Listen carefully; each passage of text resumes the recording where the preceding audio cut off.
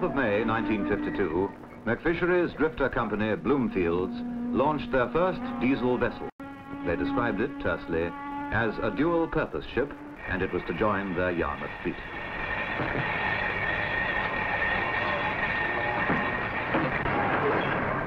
How often one or two words in a bare announcement will reveal a whole new and unknown world.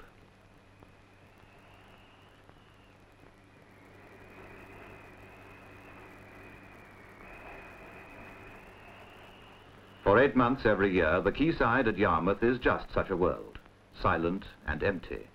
The herring season is short. For the rest of the year, the squeal of the capstan is stilled and the warehouses stand deserted. But in that terse phrase, a dual-purpose ship, there may be an answer.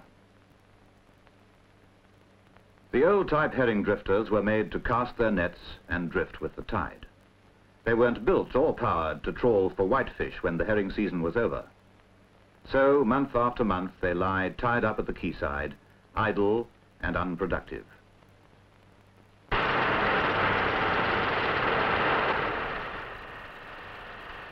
Now, in the shipyards, a new note can be heard. If large markets for herrings in Eastern Europe are lost to us now, build ships that are not just drifters, but have the power to trawl for white fish the rest of the year round. For haddock, plaice, sole, hake, halibut.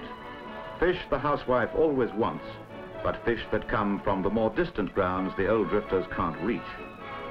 Build modern ships designed from the keel up for the conditions of today. Back in 1950, Bloomfields drew up plans for two new diesel-driven motor ships. They were to be powerful and economical to run, and they were to be built as drifter and trawler combined.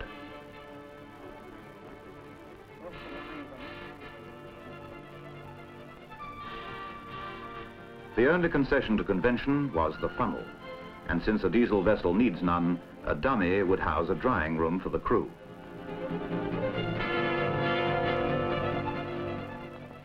The idea of a dual-purpose drifter trawler wasn't new, of course.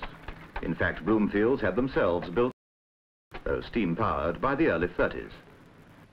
But the patterns now laid down by Richards, the shipbuilders, were very different, combining experience from many previous experiments the boats would be the most highly powered drifter trawlers yet built. And if they proved successful, they would probably be the forerunners of a new type of fleet.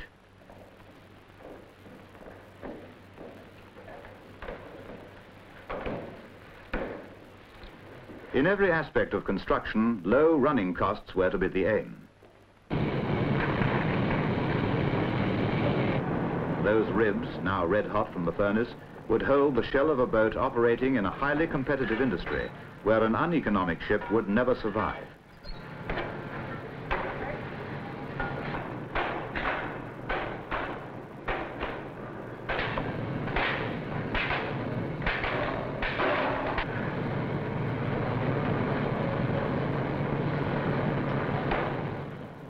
But a diesel boat needs no boiler to get up steam. As a result, length could be cut down from 95 feet to 85 feet, a big consideration with construction costs of something like a thousand pounds a foot. And even so, there will still be more hold space for the catch. The fish will be better stowed with plenty of ice, and that means fresher fish on the kitchen table. Again, diesel oil is cheaper than coal, and being less bulky, you can carry more, which will give the ships that vital extra range. In all, operating costs will be cut by nearly 50%. All the gear and tackle of these ships, from masthead lights to prop shaft, was made in the machine shop of the yard.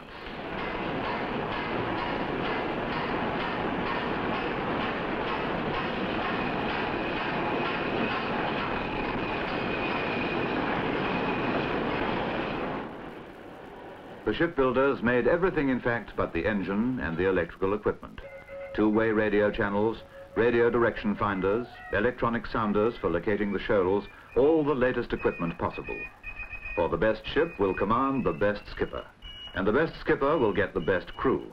And ultimately, it's on the skipper and his crew that the success of the ship will depend.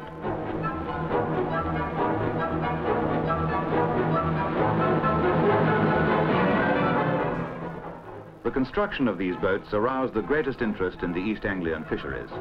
In Yarmouth, the home of Bloomfields, the local industry has been looking for a lead. And a bold and successful policy on Bloomfield's part could easily have a big effect on the policy of other fishermen. As the date for the launching of the first boat approached, the unhurried but steady pace of the shipyard craftsmen belied a mounting sense of expectancy much wider than just in the company itself.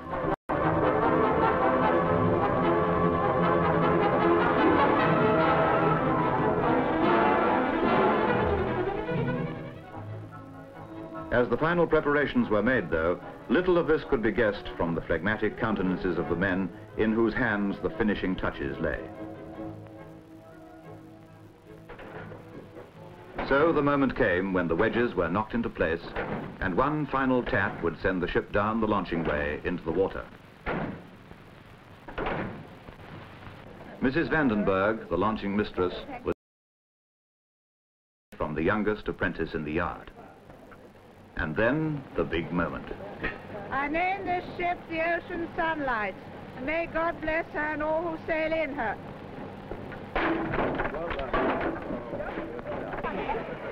Ocean Sunlight she was named, echoing the memory of the first Lord Leverhulme, the founder of Mac Fisheries. Bloomfield's first Ocean Sunlight, turned into a minesweeper during the war, went down in the perilous waters of the North Sea. Now, once again, an ocean sunlight will sail up the river to Yarmouth. In difficult times, to those who may have lost faith in the future of British fishing.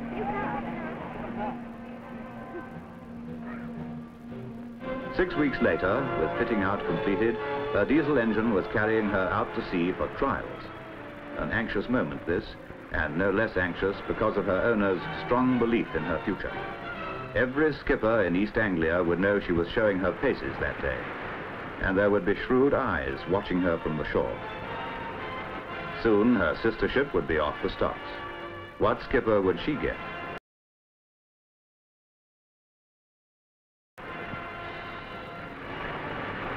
Certainly everything that could be done has been done to make this ship as modern and efficient as she can be.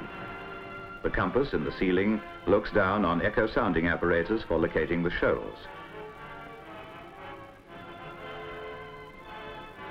For communicating with the shore, radio telephone is fitted, beside a cabin that sets a new standard of comfort for a boat of this size.